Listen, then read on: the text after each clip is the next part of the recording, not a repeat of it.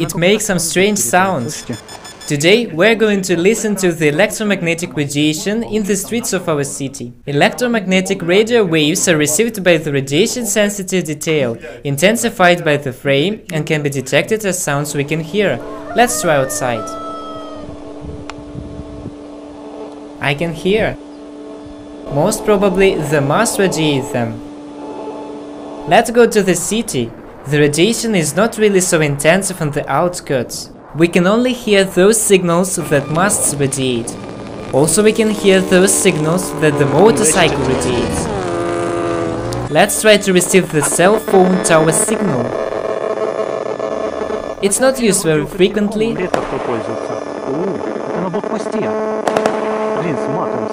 Let's go, it's really dangerous in our city. That's why we're leaving. Хотя ладно, пускай тебя лежит. Положи вот так, чтобы он не вылетел. Поехали. I want to remind you Стреляют. that we have military operations conducted in our city. That is why don't get surprised to see so few people. Almost everybody moved out. The radiation is really intensive next to the mast. Just like the radiation of 100 cell phones, the radiation is also intensive at the square.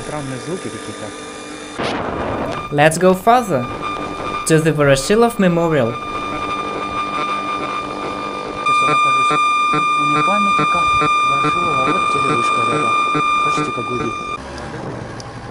Let us climb the roof to check which antenna radiates more intensively. Здесь полным-полно антенн. We've got lots of antennas here, sectoral relay ones. We've also got some strange antennas. And the wind toppled those antennas. И тут тоже антенна. Тут...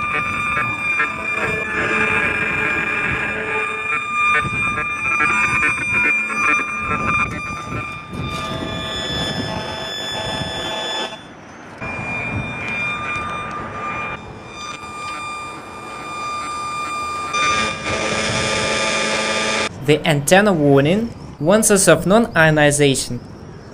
It's Nano Bridge Antenna. It's used for transmitting internet data.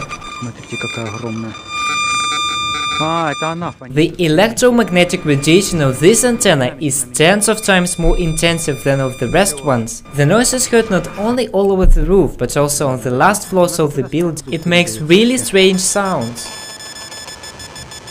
Check the next one, Их три штуки. Следующую. and the last one too. Вот это что-то передает, слышите?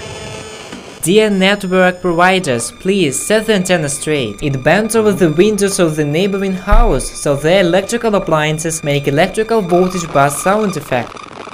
Now it's established that in most parts of the city, radiation isn't intensive and can be hardly detected. But in some places with cell towers, it's much more intensive. Sometimes it even causes failures. Subscribe for our channel, visit our community in VK. In one of our next videos, we are going to measure the radiation of an opened and running microwave.